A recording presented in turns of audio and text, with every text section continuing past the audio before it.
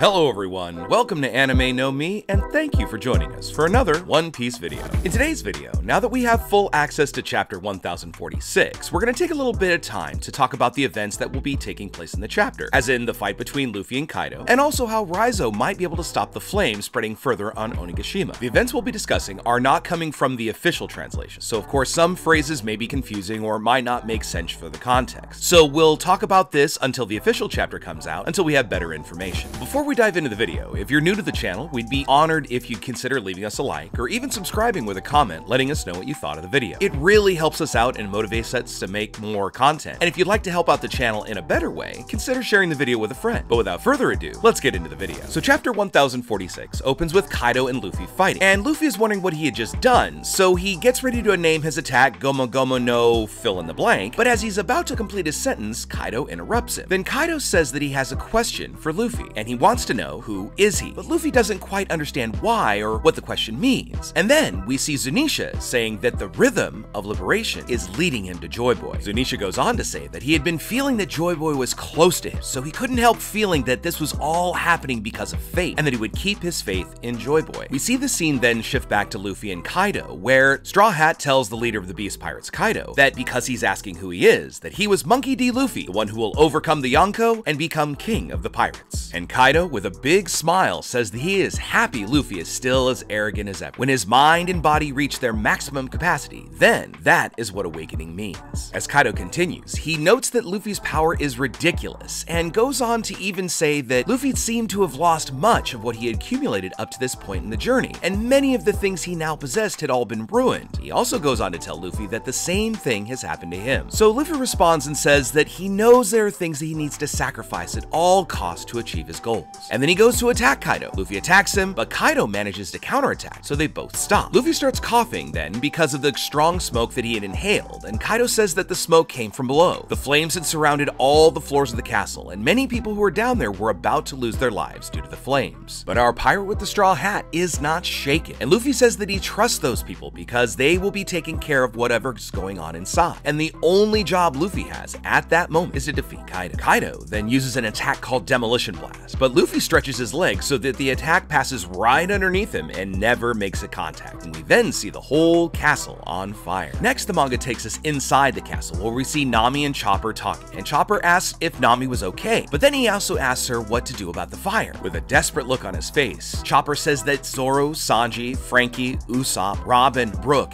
and Jinbei were not there, and that there was no one there to help him, and this might mean that they could have lost their lives to the flames. But Nami says that this just can't be true, and that there's no way they could analyze this situation, because with all the flames around them, it would be impossible, and several events were also getting in their way. At this point, there would be no way for the two of them to look for their companions, and even if they were safe, Onigashima is covered in flames, and there was nowhere safe unless the whole island was brought down. So Chopper asks Zeus to take his power and make it rain so that they could put out the fire around them. But Zeus ends up saying that the flames are way too high, and with the heat there, it would actually end up burning our cloud friend. We see another scene where Onigashima's underground is being totally destroyed, and the allies of the Straw Hats have no way to escape, as the flames have caused the beams that were supporting upper parts of the castle to fall over the exits. We see the scene change again, where we see the second floor, and Bepo is being carried by his companions because he can no longer run, and says that the heat is so bad he can no longer stand it. Meanwhile, Bepo's companions tell him to stop saying these things, and to help them. While one of the companions is there saying that they won't be able to make it out alive, the other calls out for help from their Captain Law. In our next scene, we look underground and see that Robin and Brook are next to allied samurai, and they feel sorry for Brook, but he says that everything's fine with him because his body had not been hit. Brook next asks Robin if there was any way for them to escape alive from that place, but Robin, as usual, kind of comes across in a very pessimistic way, saying that there might be no way to escape safely. On the following page, we see Sanji, together with some of the other people trying to escape from the palace, see the ground fall right in front of them. And then Sanji says it just won't even work, that even if they managed to escape the castle, there'd be no ground for them to stand on. We next see a panel of Apoo talking to a number who is trying to destroy the wall to escape, but he doesn't manage to be able to break through. So Apoo tells him to try again, because the wall wasn't just so hot. Apoo goes on to say that if they don't destroy that wall, they would both lose their lives. So he says to the number that one arm is a very cheap price to pay for survival, implying that our big friend might have to sacrifice his arm to destroy the wall. But the number doesn't understand, so Apoo just gets angry and tells him to do something useful with that huge body. But again, the creature doesn't understand, and Apoo asks him if he wants to fight. In the next series of panels, we see Usopp trying to use his green star sprinkler to put out the flames, but his water flower is immediately burned up. Now Hamlet, who's right beside him, says that this attempt was a big failure. It was like a drop in a full bucket. Usopp responds by telling him to be quiet and that he wasn't helping. Usopp goes on to say that he had made a promise to Izo, so that he would save Kin and Kiku at any cost. However, he also wanted to save himself, and angrily, Hammett replies by saying that he would like to get out alive too. We're next shown the right tower of the castle, where Franky is with Zoro, who is still passed out. While Franky is carrying Zoro on his back, he's saying that the castle fire should calm down, but he was also desperate to find Chopper because he needed him to look at Zoro to see what he could do to heal him. A group of pirates rushes up to Franky, saying that they would all lose their lives before the flames could take them, but Franky just rushes out saying that he would not burn with them. In the next panel, we see Jinbei, who's at a pretty good distance away from Raizo on the fourth floor. Now, Raizo shouts out that he was ready and says that words could not express the gratitude he was feeling for Jinbei for trusting him. Jinbei responds by saying that the samurai are allies of his captain Luffy, and that there is no reason for him to doubt Raizo. So Jinbei tells Raizo to start, and Raizo says that he has put all his faith in Jinbei and says he is ready. So Raizo starts reminiscing about his past, saying that he wasn't able to save Lady Toki, or Lord Momonosuke, or Lady Hiyori, that he had just failed to defend his Lord Oden on that day from Kaido's attack. Raizo begins to blame himself, and even though he possessed power, he was not able to protect anyone. But now, he never wanted to experience that feeling of loss again. And so we see a brief flashback of Raizo and Inuarashi. In this flashback, Raizo asks Inuarashi what rain was, and then Inuarashi replies that it was Zunisha taking a bath, and Raizo asks if he could take some of that water. Flashing back to the present, Raizo says that he will not allow people who risk their lives to defeat Kaido and his empire lose their lives to the flames. So he uses his Rain of Zou jutsu. With this technique, Raizo releases a huge amount of water, so much that even Jinbei is impressed, and he holds this large, gigantic amount of water and starts to move it with his fishman karate techniques. Jinbei changes the direction of the water, moving it to the ground so that the water reaches all the floors below. And when we see a desperate mink saying that there is no way out, they look up to see a huge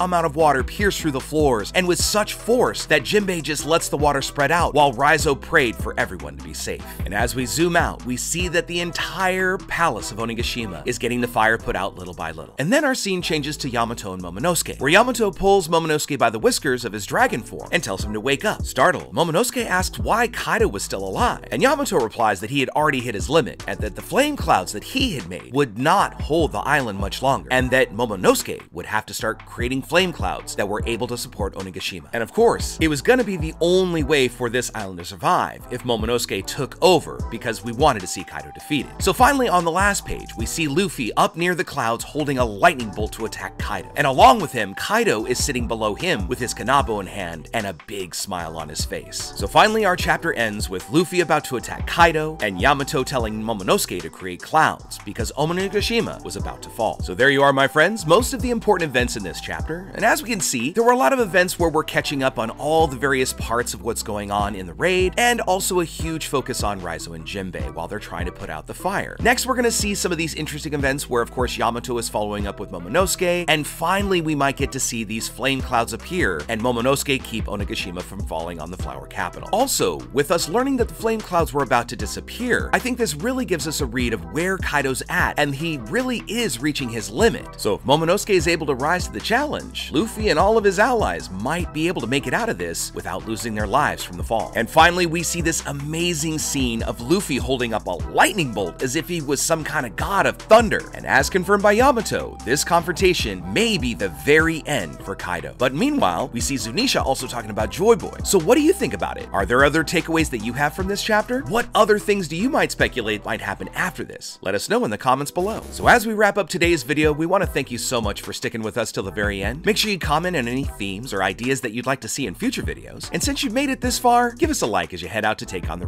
rest of your day. Hope to see you all in our next video, and let's keep sailing this giant sea together. Take care.